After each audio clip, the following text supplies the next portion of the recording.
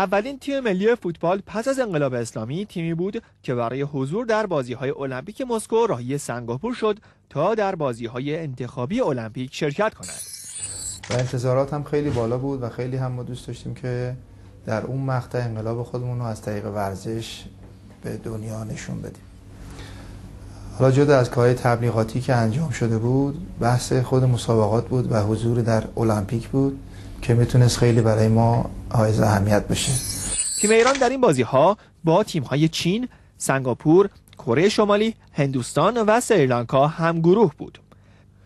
طبق برنامه ریزی بازی ها به صورت دوره‌ای برگزار می شد ولی دو تیم برتر یک بازی را که فینال بازی ها بود برگزار می کردن. یک بار دیگه بازیکنان سنگاپور چوی پشت محبته جریمه ارسال یک توپ یک ضربه و در دستان ناصر حجازی. سنگاپور میزبان این رقابت ها هست. خوشبختانه اکثر بازی ها رو ما بردیم. مخصوصا که فینال با سنگاپور داشتیم چهار شیش تونستیم سنگاپور رو شکست بدیم.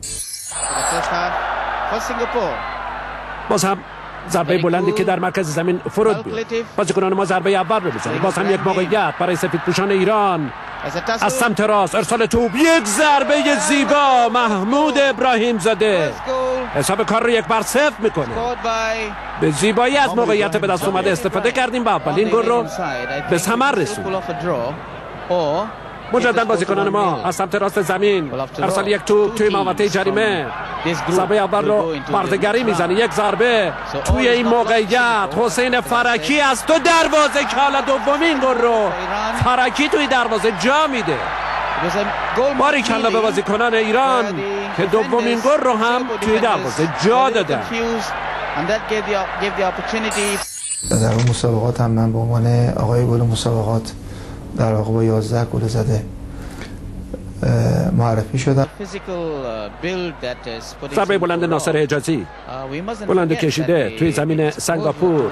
مجدد موقعیتی ایجاد میشه. این بار حسین فرکی یه بازیکن رو پیش رو داره نگاه می‌کنه. حمید علی دوستی. از این ضربه کورنر. فرکی روی توپ اثر می‌گذاره. یک اشتباه باز هم موقعیت برای بازیکنان ایران. یک ضربه دیدنی از حمید علی دوستی. سومین گل برای تیم ملی فوتبال کشورمون. و ما اونجا جواز حضور در مسابقات المپیک مسکو رو گرفتیم. که متاسفانه به خاطر جنگ در افغانستان کشور خودمون تحریم کرد. بازی ها رو ما به اون کشور نرفتیم با المپیک رو از دست دادیم. تیم ایران که نسبت به جام جهانی بسیار جوانتر شده بود با مربیگری حسن حبیبی در این بازی ها شرکت کرد و برای آخرین بار در تاریخش جواز حضور در رقابت المپیک را به دست آورد.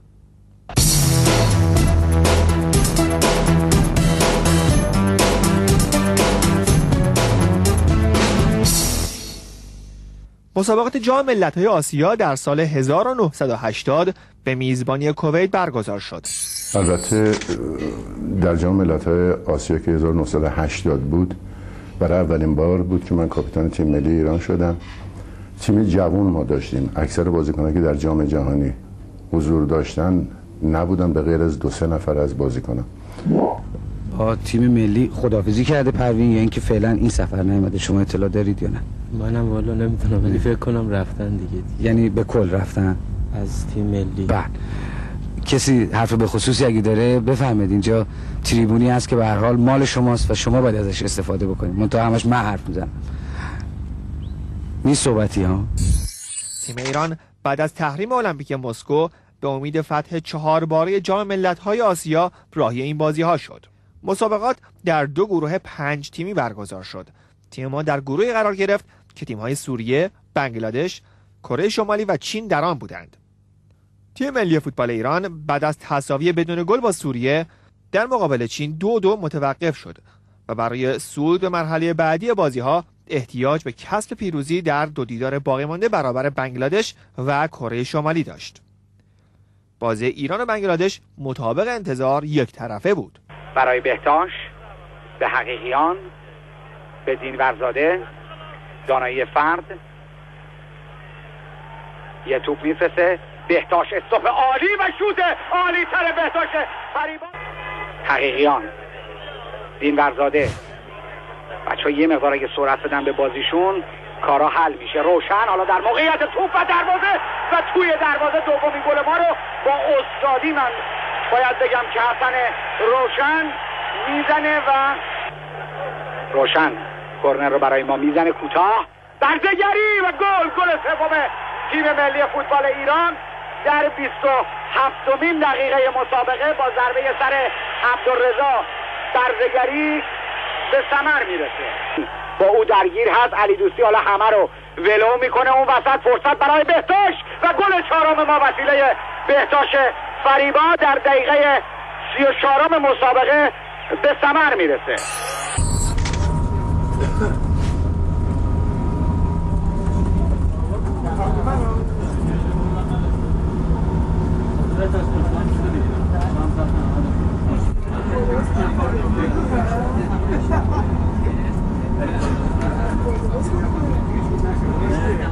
روی بازی ما با کویت که احتمالا داریم چه پیش بینی رو دارید و چه تدارکی رو در ذهن خودتون برای رویارویی با کویت من برای رویارویی با کویت یک باز به حساب روحیه تیم بالا بردن علل خصوص دفاع رو باید بالا ببریم. البته می‌بینید من یکی دو سه نفر رو بیشتر به کار کشیدم. نه اینکه رو انرژیشون اثر بذاره به خاطر اینی که بدونن که هنوز می‌تونن و خوب هستن و باید کار بکنن لحاظ روحی یه مقداری بالا باشه ضمن این تیم که الان می‌بینین اون بازی که دلخواه که من می‌خواستم هنوز نتونسته بکنه. بله. یا ما بعد تدارک دیدیم یا وضعیت طوری بودی که نتونسته خودش ارائه بده. تیم ایران در مرحله نیمه نهایی طبق قرعه به کویت میزبان بازی ها برخورد کرد. و این زمان مصادف شد با شهریور سال 59 که همراه بود با شروع جنگ تحمیلی.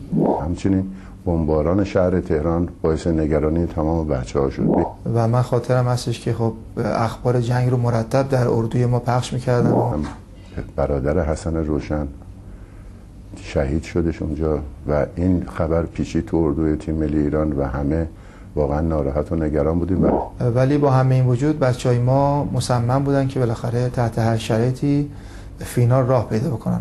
شما با توجه به شرایط بحرانی که داریم یعنی خبرهایی که از ایران می‌رسه و موقعیتی که میهنمون داره در مقابل دشمن شرایط روحی بچه ها رو چجوری می‌بینید در مقابل این مسابقه نیمه نهایی که در پیش داریم؟ البته خبرهای خوشی از تهران به بچه ها رسیده که خیلی امیدوار کننده بوده و خیلی بچه ها خوشحال شدن یعنی روحیه گرفتن برای بازی سمی فاینال و امیدواریم که در سمی فاینال بتونیم کویت رو با نتیجه خوبی شکست بدیم و بینندگان عزیز رو شاد و مسرور کنیم. ما تقریبا فکر کنم یکی دو روز تا صبح نمیخوابیدیم و خبر جنگ به گوشمون می‌رسید. بعضی تیم خوبه نسبت به بازی های سنگاپور. بیشتر بچه با هم بازی کردن. بله. چون بازی سنگاپور خیلی کم با هم بازی کردن. بازی تیمی کم بود. بازی تدارکاتی هم نداشتیم اصلا. ولی تقریبا بیشتر بازیکن ها همونایی که در سنگاپور بودن. بله. یعنی یه مقدار بازیایی که کردن تقریبا تدارکاتی میشه برای بازی های اینجا. الان بعد از ما از یک هفته قبل برنامه تمرین دادیم که 6 به بعد تمرین می‌کنیم. الان اومدن میگن که 6 نمی‌تونید شما 4 نمی‌تونید تمرین بله. می‌کنید ما در مقابل تماشاچی یا داوری که ممکنه به نفع کویت بگیره هیچ به اصطلاح سر تسلیم فرود نمیاریم و واقعا چون بچه‌هامون با تجربه تر از بازیکنهای دیگه تیم ها هستن می‌تونیم در مقابل کویت وایسیم و حتی من می‌تونم به نتیجه دو هیچ یا دو یک حالا با توجه به وضعیت تیم ما و کویت شما نتیجه مسابقه رو چی پیش بینی من نتیجه مسابقه رو به نفع خودم پیش بینی می‌کنم. شما شانس قهرمانی ایران رو چقدر می‌بینید در این مسابقه؟ من 199 و با این وجود ما بازی کویت هم بازی کردیم. خیلی هم خوب بازی کردیم ولی از لحاظ این خبرهایی که به ما می‌رسید ما نتونستیم اون نتایج نتیجه دلخواهمون رو به دست بیاریم که متاسفانه اون بازی رو دو یک به کویت واگذار کردیم نتونستیم صعود بکنیم. بهتاش بین جمال یعقوب و محبوب جمعه همش درگیره و این طرف روشن رو یار دیگه کویتی در اختیار داره. تو در اختیار ایرج دانایی فر یک بازی هم جاسم یعقوب فکر کنم گل اولو به ما زد که از پشت دفاعمون حرکت کن دفاعمون تقریبا کن بود در اون بازی. که همه دفاعمون رو رد که تک به تک مامان شد که گل به ثمر رسون که دو یک بازی رو واگذار کرد. سنجری هست و عبدال جاسم یعقوب و توی دروازه با توپ جایی میدن. این توپی نبود به اعتقاد من که ما به این راحتی دریافت بکنیم. فیصل و دخیل من فکر کنم از پشت 18 قدم زد که من تلاشمو کردم. حتی با دست رد کردم انقدر شوت سنگین بود. در هر صورت به گوشه دروازه رفت. این طرف حالا جاسم یعقوب هم می‌رسه. الانبری هم هست به خود فیصل دخیل و توی دروازه ما فیصل دخیل دومین گل تیم کویت رو جای میده. خاطرم هست من خیلی اتش داشتم برای بازی کردن. اما خب به تشخیص کات من فکر می‌کنم که 15 دقیقه آخر بازی رو وارد بازی شدم که ما دو هیچ عقب بودیم و در نهایت روی ضربه کورنر در دقیقه های پایانی بازی من گل ایران رو زدم فرصت داره باید بزنه دیگه و توی دروازه. گل اول ما شکل می‌گیره. منتها فرصت تنگه و باید دید که کار به کجا می‌کشه. تنها دو دقیقه فرصت. نوع داوری می‌تونم بگم که مشکلاتی بود که کویتی ها باز طبق معمول خودشون رو روی زمین مینداختن. بعد از دو گل وقت کشی می‌کردن. و عجیبه که داور مسابقه حتی وقت قانونی رو هم نگه نمیداره و زودتر از 45 دقیقه سوت پایان رو به صدا در میاره.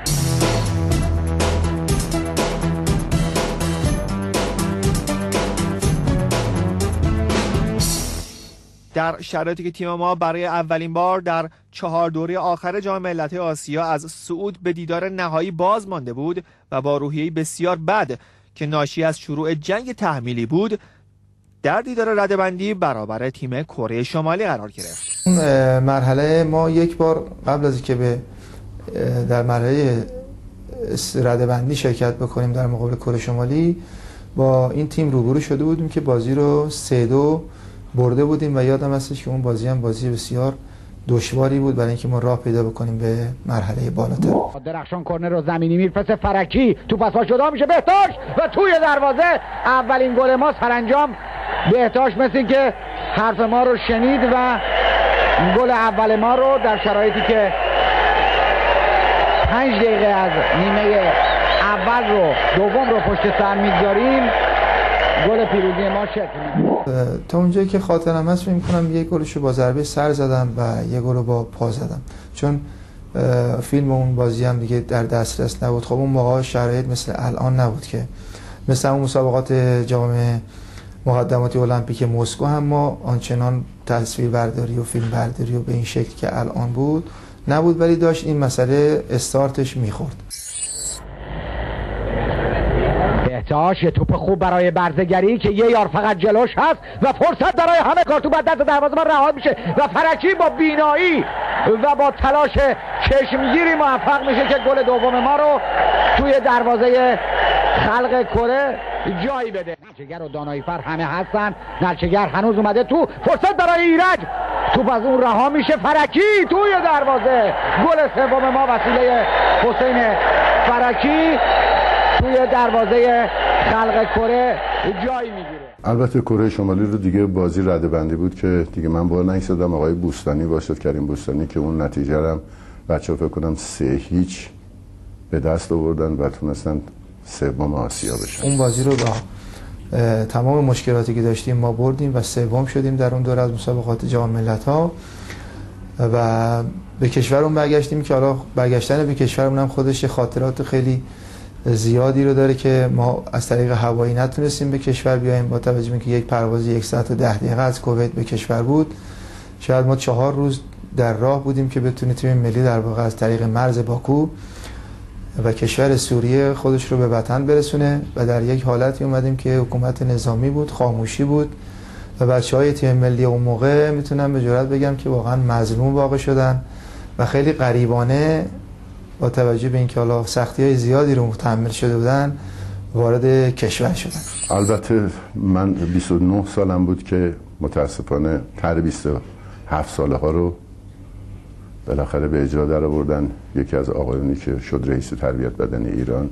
به خاطر مخالفتی که با امثال من داشتن می‌خواستن من از صحنه فوتبال کنار برم که این کارو کردن و منو دیگه از اون به بعد به تیم ملی دعوت نکردن. خودتون می‌دونید دروازه‌بان می‌تونست تا 38 39 سالگی الان تمام دروازه‌بانای بزرگ دنیا و با تجربه ها از 35 سالگی تا 40 سالگی دارن تو دروازه با میستن و بهترین کارم دارن انجام میدن ولی متاسفانه اینجا 29 سالگی منو کنار گذاشتن